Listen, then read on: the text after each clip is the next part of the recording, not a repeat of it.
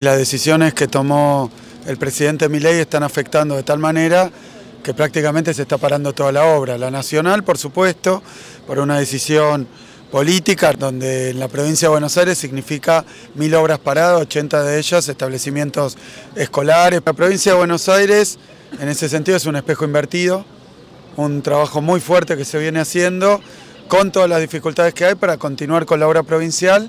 Tengo para mencionar una ampliación que se está haciendo en el hospital en Juárez, que tiene que ver con las guardias. Tengo también que hemos recorrido hoy un salón de usos múltiples espectacular, donde está todo asfaltado durante esta etapa. La verdad que hemos recorrido muchísimo asfalto. Hemos estado también en un centro de monitoreo, muchísima obra en el distrito.